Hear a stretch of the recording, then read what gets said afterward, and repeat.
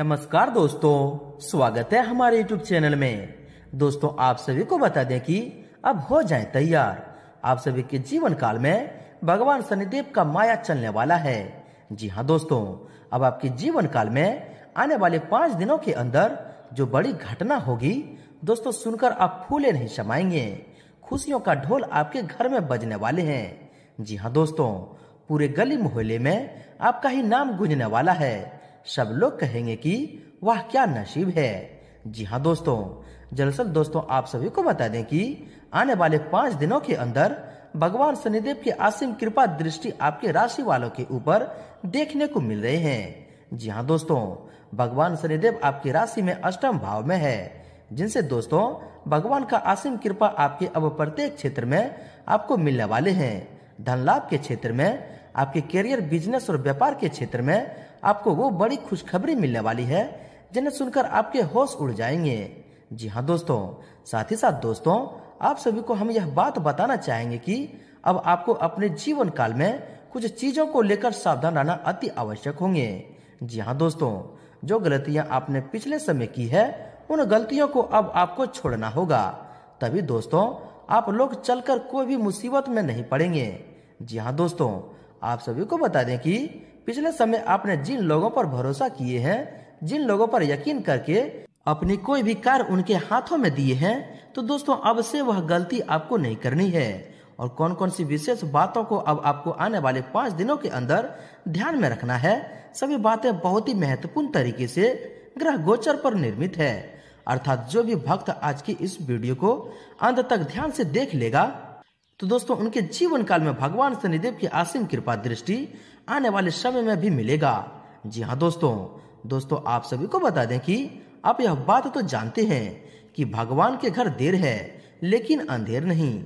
जब सभी के रास्ते बंद हो जाते हैं तो दोस्तों, एक भगवान का ही रास्ता बचता है, जिन्हें हम खटखटाते हैं। जी हाँ दोस्तों, और वहाँ पर जाने से कोई भी व्यक्ति घबराता नहीं है, क्योंकि दोस्तों, वहाँ पर भगवान के दरबार में भगवान की ऐसी एनर्जी हमें मिलती है, जिनसे हमारी सारी चिंताएँ भी खत्म हो जाती है। जी हाँ दोस्तों, और अब आपके भी जीवन काल में भगवान शनिदेव की छाया पड़ने वाले हैं, जिनसे सभी प्रकार की नकारात्मक ऊर्जाएँ आपके जीवन काल में लुप्त तो होने वाली है, और जीवन काल में आपको हर एक प्रकार की खुशियाँ मिलने वाली है, जिनकी दोस्तों, आपने पिछले समय में कामना किया है।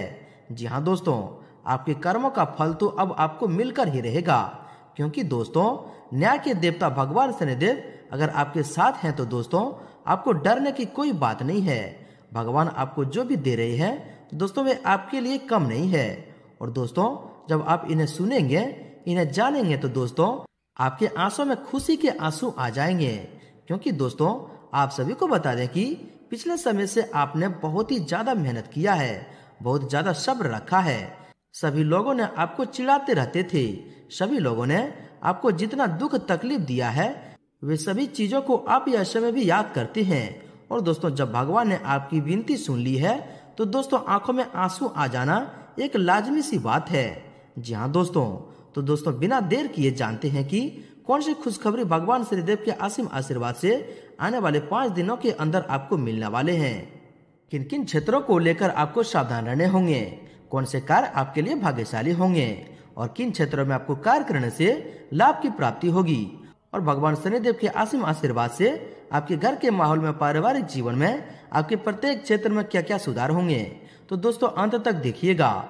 उससे पहले दोस्तों, जो व्यक्ति वीडियो को लाइक करके कमेंट बॉक्स में सच्चे मन से जय शनिदेव लिखेंगे, दोस्तों, शनिदेव का असीम कृपा आप सभी को प्राप्त होगा। दोस्तों, खुशियाँ आना आपके घर में प्रारंभ हो जाएँगे।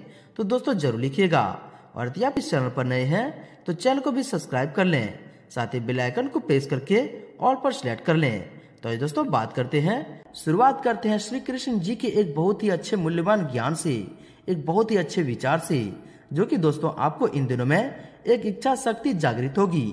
और यह बातें आपको आगे चलकर बहुत ही मूल्यवान साबित होने वाले हैं। तो दोस्तों, बात करते हैं कि एक बार एक राजा नगर भ्रमण को गया। रास्ते में देखा एक छोटा बच्चा माटी के खिलौनों को कान में कुछ कहता है, फिर तोड़कर माटी में मिला रहा है। राजा ने अचरज से पूछा, तुम ये सब क्या कर रहे हो? बच्चे ने जवाब दिया, मैं इन सबसे पूछता हूँ कि कभी राम नाम जपा है?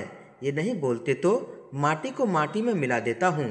राजा ने सोचा, इतना छोटा सा बच्चा इतनी ज्ञान की बातें? राजा ने बच्चे से पूछा, तुम मेरे साथ मेरे राजमहल में रहोगे? बच्चे ने अच्छे से जवाब दिया, ज़रूर रहूँगा। पर मेरी चार शर्तें हैं। जब मैं सोऊं, तब तुम्हें जागना पड़ेगा। जब मैं भोजन करूँगा, तुम्हें भूखा रहना पड़ेगा। मैं कपड़े पहनूँगा, मगर तुम्हें नग्न रहना पड़ेगा। और जब मैं कभी मुसीबत में आऊँ तो तुम्हें अपने सारे काम छोड़कर मेरे पास आना पड़ेगा।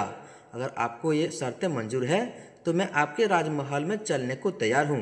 राजा ने कहा यह तो असंभव है। बच्चे ने कहा, राजन तो मैं उस परमात्मा का आसारा छोड़कर आपके आसारे क्यों रहूँ?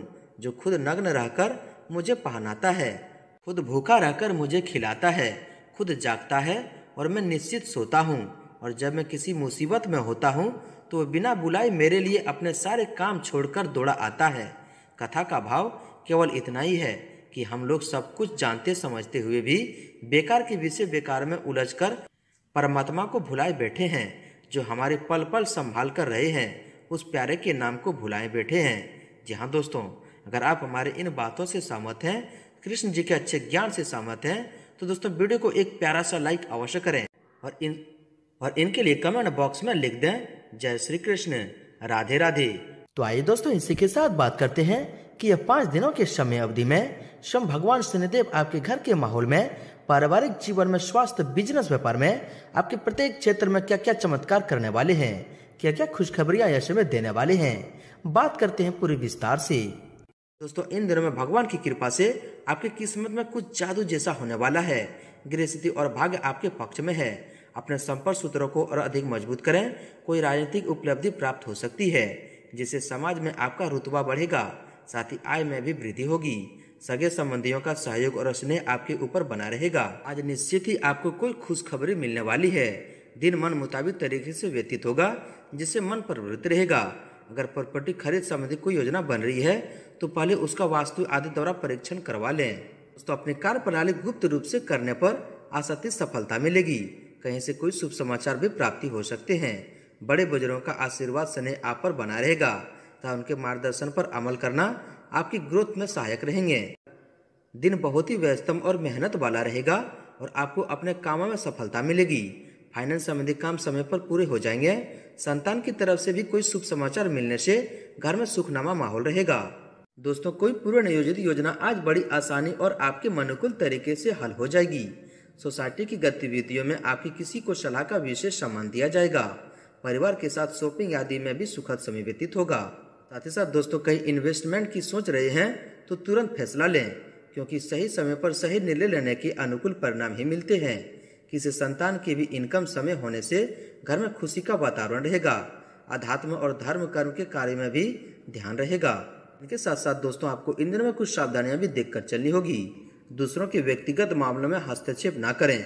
पड़ोसियों के साथ कहासुनी होने की आशंका है, जिसकी वजह से आपकी मान हानि हो सकती है। विद्यार्थी वर्ग अपनी पढ़ाई के प्रति लापरवाही न करें।